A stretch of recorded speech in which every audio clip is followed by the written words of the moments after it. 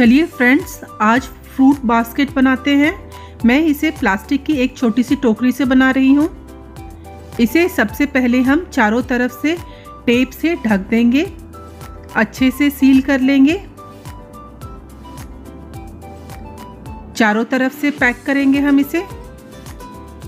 ये देखिए, हमने सब तरफ़ से पैक कर दिया है। अब सीमेंट का मिक्सचर बनाते हैं। इसमें रेत डाल दिया और पानी डालकर एक स्मूथ घोल तैयार करेंगे। देखिए, पेस्ट हमारा बनकर तैयार है। अब हम इस मिक्सचर को टोकरी में डालेंगे।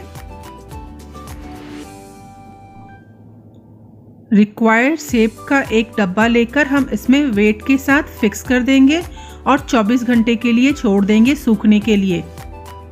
ये सूख चुका है, चलिए वेट हटा लेते हैं। और डब्बे को निकालते हैं। डब्बा निकल चुका है। अब हम टेप को निकालेंगे। चारों तरफ़ जो जो हमने टेप लगाया है, उसे हम निकाल लेंगे। आराम से निकालेंगे। ये निकल चुका है। अब हम टोकरी को कट करके हम निकालेंगे। आराम से निकालेंगे। कहीं टूटे ना। ये देखिए कितना सुंदर कार्विंग बन के आया है। बहुत ही सुंदर लग रहा है। आप भी देख पा रहे होंगे, ये बहुत सुंदर बना है। इसे हम ब्लैक कलर से पहले पेंट कर लेंगे।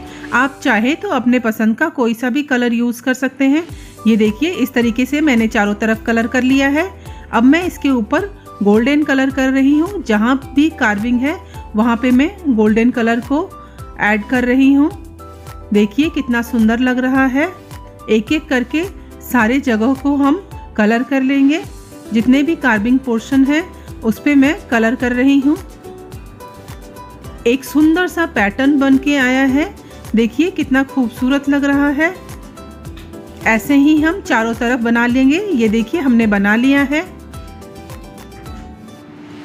अब जो पोर्शन बाकी बचा हुआ है, उसे मैं इस तरीके से कलर कर रही हूँ।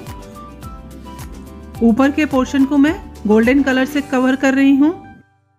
ये टोकरी हमारी बनकर तैयार है। अब इसमें फ्रूट रखकर सर्व करेंगे हम।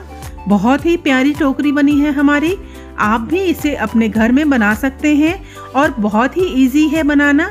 जैसा कि आप लोगों ने देखा है, ये खूबसूरत भी बहुत है और बनाना भी बहुत इजी है तो आप भी इसे अपने घर में ट्राई कीजिए। Thank you